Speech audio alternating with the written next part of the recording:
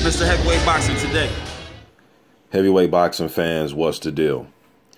All right, man. So over the last week or so, since I've been off YouTube, I've been keeping track of some of the uh, boxing news, well, the heavyweight news. Um, and I've seen uh, Eddie Hearn has came out and said he wants to make this Luis Ortiz versus Jarrell Miller fight. Then I've seen Jarrell Miller come out and voice his opinion about the fight.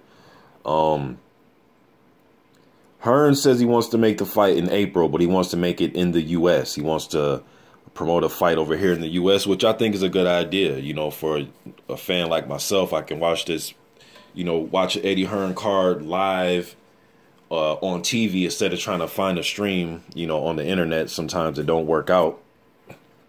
So I would love to see uh, Hearn put together a card, especially if it's Miller versus Ortiz. He thinks that that can be the, the headliner, be the main event of its own card. Um, he wants it in April. Now you got Klitschko versus Joshua April 29th. So I don't know. You would think it should be on that undercard. You know what I mean? Being there's going to be 80,000 plus people in Wembley that day or that night of the fight. Um, it's a huge card. Joshua Klitschko unification for the main event. You know, so I'm not sure who's going to be on that card. Maybe somebody can leave in the comment section. I, I don't know what Hearn's plans are as far as uh, filling up that that fight card, the Joshua versus Klitschko. But I understand what Hearn is trying to do. You know, he thinks that they can uh, headline their own fight here. I'm sure Showtime will most likely have something to do with it if it's in the U.S. Um, as far as uh, television.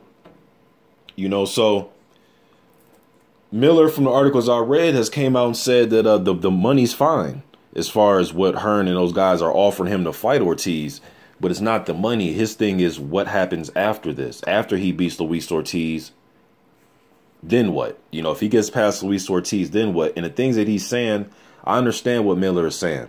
Um, if he were to beat Luis Ortiz, he's saying that he wants a shot at uh, Joshua or Klitschko, whoever has the title he wants that WBA title shot. You know what I mean? Because there's other guys out there, man, that will have done less that have gotten title shots. Whether you want to say they were uh, voluntary defenses or whatnot, that's fine. But Artur Szpilka, I mean, Johann Duhaupas, Eric Molina has had, what, two title shots in the last, what, 18 months or something like that? Fought Wilder, then he fought uh, Joshua. Um, yes, he did beat Thomas Adamek, and then after that, he got him a Joshua fight. Um, Dominic Breazeale got a, a fight with uh, Anthony Joshua. You know what I mean? Glazkov and Charles Martin fought for a vacant IBF title fight. You know, you can argue that those guys really didn't do anything that would be on the level of what Miller will be doing if he defeats Luis Ortiz. So I understand what I totally understand what he's saying, man. He said that the money's cool, the money's right, but it's about legacy. I want a title shot um, when I beat Ortiz. Now, will he beat him?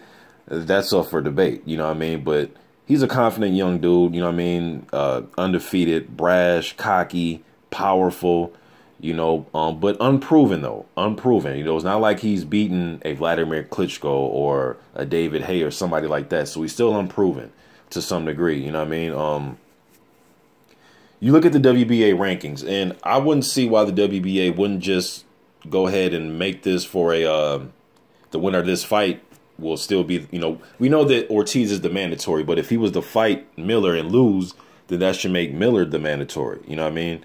Um, I'm not sure how their their rules work with the WBA. If your mandatory fighter takes a fight and he loses, uh, does the guy that beat him does that make them the mandatory? You would think that it would keep being final eliminators. If if you're the mandatory, you keep fighting. If you lose, hey, you just lost your spot. You know, so I'm not sure how that works. Um, but you look at the WBA rankings, I mean, shit, Miller is rated number eight. You know what I mean? And the guy's rated ahead of him, Ustinov, he's awaiting the winner out of uh, Briggs versus Oquendo. And then you got Klitschko up there. You know what I mean? Like, he's highly rated by the WBA. And then you have Luis Ortiz, number one. David Haye's number six. Emmanuel Charles, number seven. Trevor Bryan's number nine. Kubrat Pulev is number 10. You know what I mean? So Briggs and Oquendo's going to take care of each other. Then Ustinov's waiting on the winner of that fight for that regular WBA heavyweight title. Um, so this fight, to me, it, makes sense. You know what I mean? Uh, Miller is rated number 13 by the WBC. Ortiz is rated number three by the WBC. Miller's rated number nine by the IBF, number four by the WBO.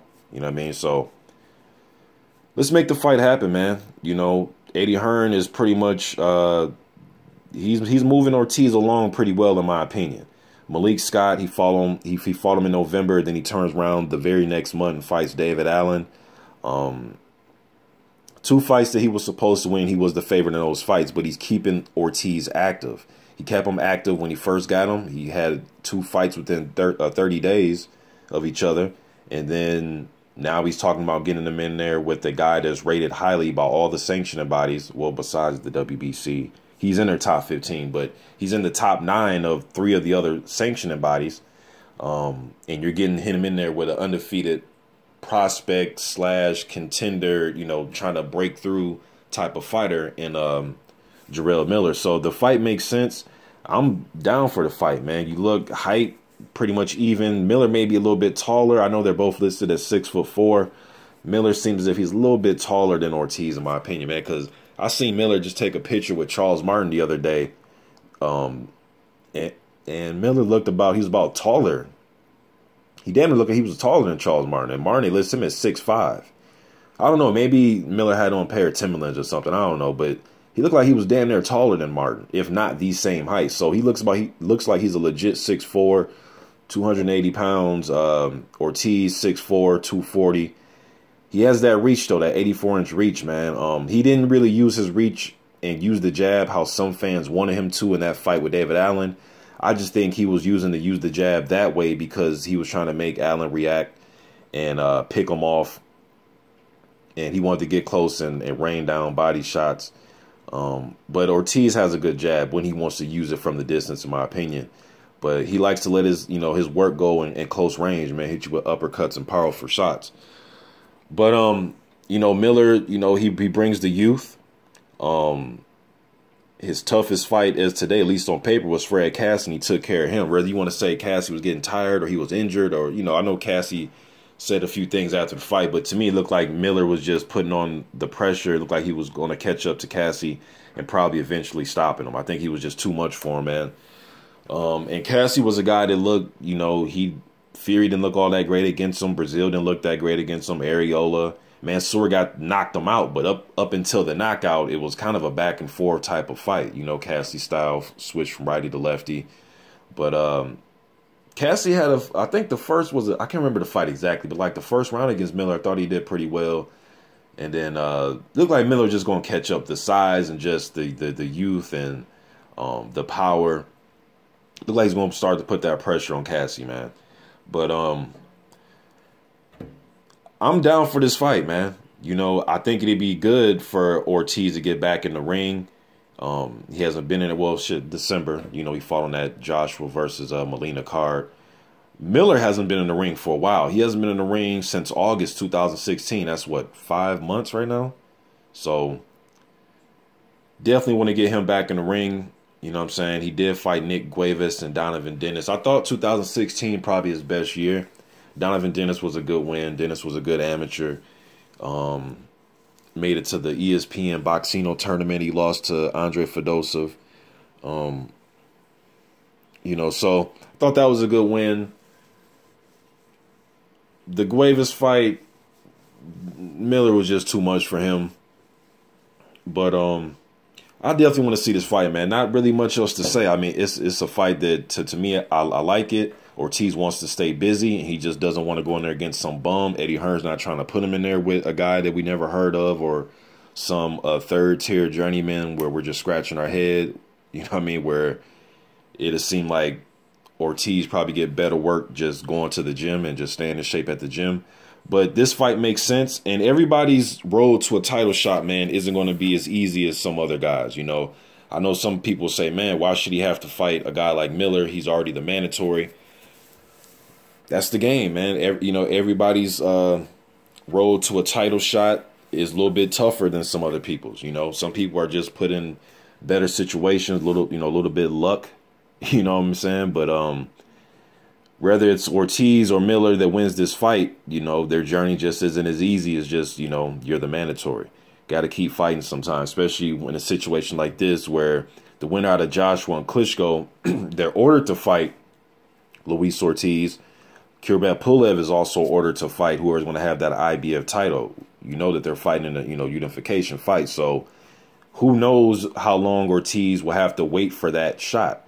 So in the meantime, let's fight a guy like Jarrell Miller, a guy that's coming to win.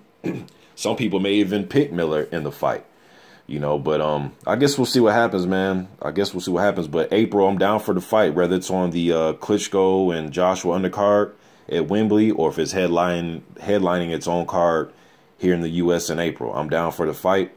Um, but I definitely understand where Miller's coming from, though, man. If he beats Ortiz, this ha this has to get him a title shot. You know, I mean.